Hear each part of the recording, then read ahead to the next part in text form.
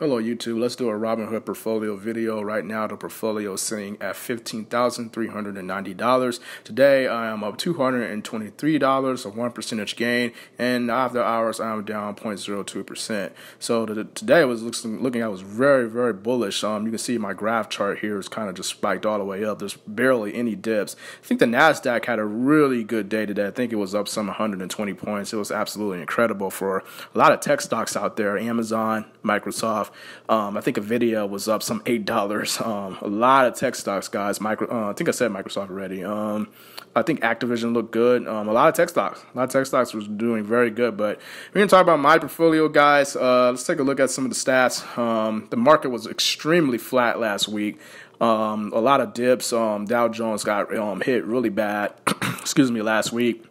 I know Boeing today they took a massive dip today. I think they was down some thirty-eight dollars last time I looked, but um, had something to do with one of their planes crashing or something like that again. And this has been a trend. This has been a common trend for Boeing. Um, I think two planes in the last like since the last year have crashed, and a lot of investors are, work, or, you know a lot of investors are concerned about that. So um, for the week, I am down fifty-two dollars. For the month, I am still up two percent, almost three percent, four hundred and thirty-one dollars. Let's take a look at the year graph. I'm only up $315, but we can see quite a bit of volatility right here. This is when the market was just tanking really bad, guys. And then we hit that December period where the market absolutely just collapsed on its face. So, um, all time, I am up 5%, almost 6%. So, that's not really good to see that I'm sort of just rebounding here. And we're going to talk about my portfolio. There have been a lot of changes with this portfolio, guys. You know, I do um, you know, read you guys' comments when I, I, try to do it when I have time. Um, I try to reply back to everyone um, as much as I can, but I do read you guys' comments, and you know, there's been a lot of um, people saying, "Hey, you know, why don't you uh, buy some regular companies? You know, the ETFs look good, and you know, an all ETF portfolio is, is good, but you know, get some regular companies in there." You, um, you're kind of uh, wasting your potential if by not owning some really good companies and your returns are going to be going to be flat. So after um, reevaluating the portfolio and you know just reevaluate what I've been doing, um, I have decided to liquidate dividend portfolio D. So, guys, um, my M1 Finance portfolio, M- M1 uh, dividend portfolio D, is no longer a thing. I liquidated all my stocks today. excuse me, and I plan on using that thousand dollars to either. I think I, I, still have to do my taxes, so I'm gonna probably do my taxes and just use that if I owe back any money, or just put it back into the Robinhood portfolio and buy more stocks. But enough of that. Enough chatter, guys. Let's get to it. Uh, it's gonna quickly take a look at uh, ticker symbol VTI Vanguard Total Stock Market ETF. Right now it's up uh, $143. Uh, today it's up 1%, so a really good day today for VTI. Um, the markets were extremely flat last week, guys, but um, it seems like a really good Monday. Um, so, uh, I still haven't sold anything. 50 shares, um, 121 average cost, and I am still up uh, thousand dollars on the stock. So um, this, excuse me, this dividend, excuse me, this dividend, uh, this um, ETF will be paying a dividend soon. I do not know what the dividend uh, uh, price is going to be. I don't know if it's going to be like 72 cents. I don't know if it's going to be like 50 cents or something like that. But for 50 shares, guys, um, I'm going to get paid pretty well from VTI, and I'm up a thousand dollars. So we talk about compound investing. We talk about uh, you know getting paid for doing as little as possible, and I am up really big on the ETF. I'm up a thousand dollars. So um, you got to hold, guys. You got to buy and hold it and leave it alone. You know, I'm probably not going to touch this for another you know two years or something like that, and who knows what the price would do. The price can go back down to 121 or the price can go to like $200. But um, Vanguard Total Stock Market ETF, um, Warren Buffett likes the S&P 500. He's uh, recommended that you invest in the S&P 500 and it's a really good index. Um, it really holds some really good companies. Uh, up a grand on this guy, 17%. So not bad, not not um, totally not bad to see there. Uh, Schwab U.S. Dividend Equity ETF at $51. Um, right now, it's at 50 shares. Nothing was sold. Average cost 50 uh, dollars and 36. Total return today $36. So a really good day for SCHD. It tends to uh, follow the Dow Jones a lot because of those industrials and those consumer staple stocks. A lot of industrials and consumer staple stocks in this ETF. It pays a zero point excuse me, a 0.07 uh, expense ratio. So, um, really low expense uh, fees with the ETFs, and I'm sort of uh, limiting the, uh, the ETFs in my portfolio. I sold, um, I think it was PowerShares QQQ, and I think I may have sold another ETF. I think it was like VXUS, but um, the reason why I'm selling uh, some of these ETFs is because, again, guys, the expense ratio. So, guys, look at what the expense ratio is for holding an ETF because it can really dig into your returns if you're not careful with, uh, you know, buying all these ETFs and having an ETF portfolio. At the end of the year, you will pay an expense ratio. So, um, you know, for again, for every ten thousand dollars that I invest into the SCHD, I would be paying seven dollars per year.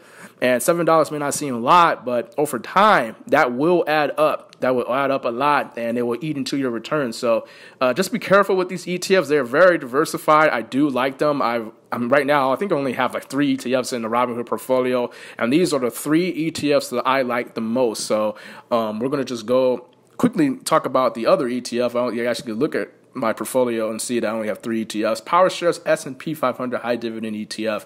Um, I have 100 shares of this ETF. Um, portfolio diversity at 27%. So um, my ETF uh, exposure is quite high, but again, I like to be diversified. Uh, I do like capital appreciation, which I am getting with SPHD. Total return of $354 does pay a dividend. It does pay a monthly dividend.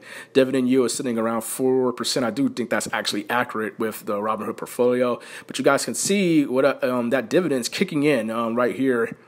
Uh, $14.26 paid at uh, February 28th. So uh, quite remarkable to see that the dividends are you know contributing to the portfolio. And you guys can see another dividend paid uh, January 31st, 2019, $10. So there's a lot of compound investing going on and capital appreciation going on with SPHD. And It's going to pay again um, this month and I'm not sure how much it's going to pay for it. Probably pay about 13, another 13 to 14 dollars. So if we do a lot of compound investing or just hold this ETF for a long time, that money does add up a lot. And you know, 14 dollars here, 14 dollars there, and you know, it's really good to see. You can do a lot with that money. You can uh, at, over time, you can probably buy a share of Verizon or a share, of, you know, of AT and T. AT and T is looking pretty flat right now. I think it got it down to 29 dollars. But a lot of things you can do with passive income. So um, pretty good to see there. Uh, you guys can kind of tell that I've been putting regular stocks back into the portfolio. So this is something that I talked about earlier about um, sort of just mixing ETFs with stocks. And you know, I, I, have been listening to you guys. I've been I'm reading the comments, and um, after evaluating the portfolio, I did start putting some regular stocks back into the portfolio. So let's quickly take a look at some of the stocks that I put inside the portfolio. Apple had a really good day today. Again, the Nasdaq was on fire today. Um, I think Apple got upgraded by Bank of America today, and that's the reason why they're they're up right now. They're looking pretty good. Let's take a look at my average cost: seventy two dollars, three shares. I didn't go all in on this company because I do have some of it in my M1 Finance portfolio. Um, equity uh, just over uh, five hundred thirty eight dollars. Um, portfolio diversity looks good, three percent. Uh, pretty good buy. Uh, it looks like I bought on time because it just got upgraded by Bank of America, and I, I do think Apple was still quite undervalued, especially with that PE ratio sitting at just 14. Uh, 14 uh, percent. So, uh, dividend yield is uh, at, I don't not sure if that's accurate or not, but um, Apple is one of the better companies, of the one of the better tech companies that I like that on the market that is still to me uh, really good, um, a really good buy. Even at these prices, I still think Apple's a good buy. Got up to some two hundred and thirty dollars, guys, and they have been. Um, you know, dividend, it's not dividend split, but it has been um, share splitting over the last couple of years. I think, uh, I, I, forgot when the last uh, share split happened. Maybe it was some 2013 or something like that, but I think Apple was like some $500 or something like that.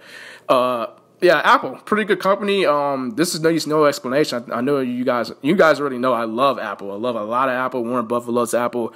Um, it's good company. Um, I like Microsoft too, but Apple's valuation right now is incredibly attractive to me.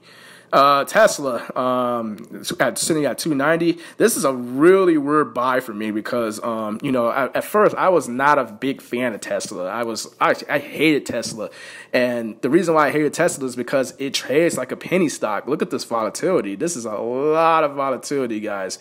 Look at this. This is up and down, up and down, up and down. And I kept saying to myself, "Where's the growth with this company? How is this company profitable?" Well the reason why I bought Tesla is because I, I don't know. I just like what they're doing right now. Um, you know, I do follow Elon Musk on his Twitter account. Uh, excuse me, I do follow Elon Musk on Twitter, and um, I only bought one share. Average cost two eighty six. I'm up four dollars. But Tesla, um, so I want to talk about why, quickly why I bought Tesla. Um, the, th- the reason why I bought Tesla is because their earnings reports are getting better. Um, this company was not profitable at all. It was very questionable. I was looking at some of their earnings reports these last couple of um, uh, quarters, and I'm like, man, they're still in negative earnings. So you know, this stock does the stock can this stock make any money or are they profitable? And they showed in quarter three that they are. They did beat estimate. Um, they really crushed estimates in that third quarter, but um, it seems like they're getting they're becoming more profitable. Um, I believe in the electric car. I, I believe in the electric vehicle. I think that that's going to be the future. I think that um, they're way ahead of the game. They're headed. Uh, they're ahead of Ford. Ahead of uh, General Motors, and I think the electric car is going to be a thing of the future. Um, we're going to definitely try to cut down on carbon dioxide. Um, you can see quite the volatility right there. It was two ninety dollars. Now it's two eighty nine. But um, the electric vehicle is something that I, that I really believe in, and that's the reason why I bought Tesla. There's many reasons why I bought Tesla. Um, you know, I Elon Musk for you know this guy. A lot of people don't like this guy because of his antics. Um, you know, the whole smoking pot and um, you know, just doing all this crazy stuff. The the SEC got on his case. They're talking about removing him from, from power and all this sort of stuff. But a lot of his ideals I like. I, I, I, like what I like what he what he brings to t- his thought process about this whole you know, colonization in Mars. I'm a big space guy, guys. I love NASA. You know, I follow NASA. I follow the Twitter account, and uh, you know, I just want to see what's out there. You know, what's what's really out there. What, how are we going to get to Mars? How are we going to colonize Mars?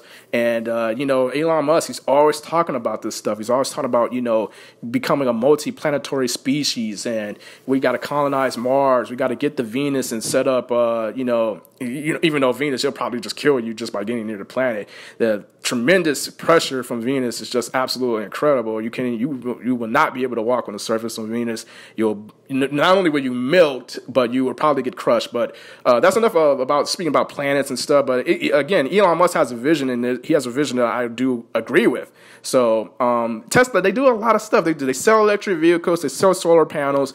I, I just think that they are the future. They they they have a niche in the game as far as uh, being ahead of everyone else of uh, was of improvising, of trying to uh, you know start stuff and be like one of the innovators of that technology. So that's the reason why I bought them. Um, I know it's quite a lengthy exp- explanation, guys. I'm sorry about that. I really want to just run through this portfolio um, and you know talk about what I've bought.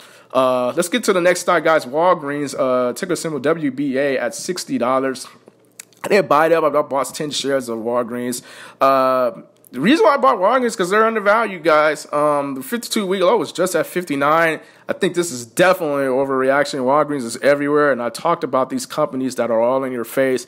The Walmarts of the world, the Targets of the world, the McDonald's of the world. They're all in your face, and uh, people need healthcare. People need, uh, you know, drugs and to, to keep going and um, you know, the pharmacy, the Walgreens pharmacy, I, I like CVS a lot too. I'm probably going to add more to them in my M1 finance portfolio. But um, Walgreens was definitely a good buy. I think that they are definitely the right play here. I know CVS pharmacy and Aetna is trying to um, build something. They're, they um, are trying to build a clinic for CVS. They're, they're, I think CVS, I was looking at their, uh, uh, what they're trying to do. So Aetna, uh, they they're taking on a lot of debt, guys. They're taking on a, uh, taking on a lot of debt with this Aetna plan, and a lot of investors um, they over they sold. They they don't like uh, the future that has with uh, CVS Corporation.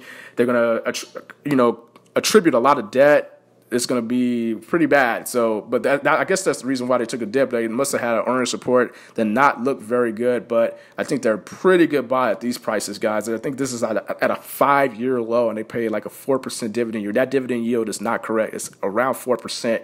So, um, the reason why I bought Walgreens though was um, because Walgreens is a dividend aristocrat. They have been increasing their dividend, unlike CVS Pharmacy, which seems kind of stagnant as of late with their dividend. with the acquisition of uh, what they're trying to um, attain Aetna, they're going to like sort of do a merger or something like that. But with Aetna, they're not going to be increasing that dividend for a long time. There's going to be a lot of debt with that company. So Walgreens is a proven dividend aristocrat, and um, you know, I'm it, this is a steal uh, to me. This is a, a pretty much still. I'm getting a, an above average company that's at a 52 week low and you know they're a retail giant they're a healthcare giant and they pay a, a, around a 3% 4% dividend it needs no explanation guys. I, I went all in on this company. I bought 10 shares. I probably should have bought more shares than that. Maybe should probably bought 20 shares.